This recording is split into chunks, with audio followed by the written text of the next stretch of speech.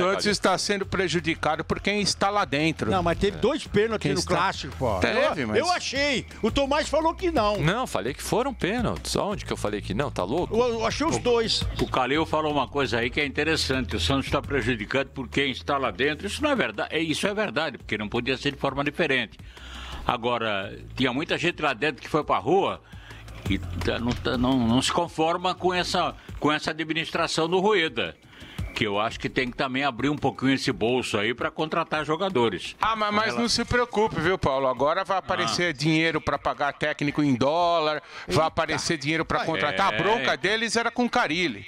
Com o Carilli, eles perderam o jogador pro, pro Cuiabá por 30 mil reais, perderam o jogador pro Goiás por 20 mil reais e Isso. contrataram um jogador agora com problema no pubis. O Ronaldo jogou ele e teve, ele sabe o que é problema no pubis.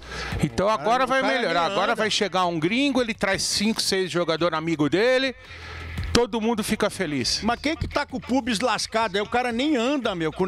É, o jogador lateral direito que era. Porque o Madison tem problema de pubis, o lateral direito titular do Santos.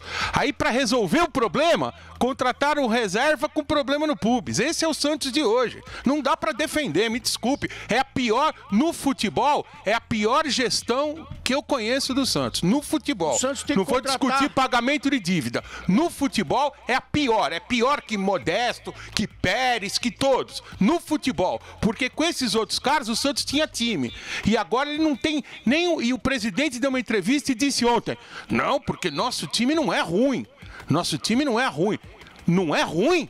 Esse time do Santos, o Santos é pior que o Mirassol. O Santos é pior que a Inter de Limeira. Não, o Mirassol o ganhou do Bragantino. O O Santos é o pior dos do 20. Eduardo Batista Dos lá, pô. 20 times que estão na Série A, o Santos é o pior.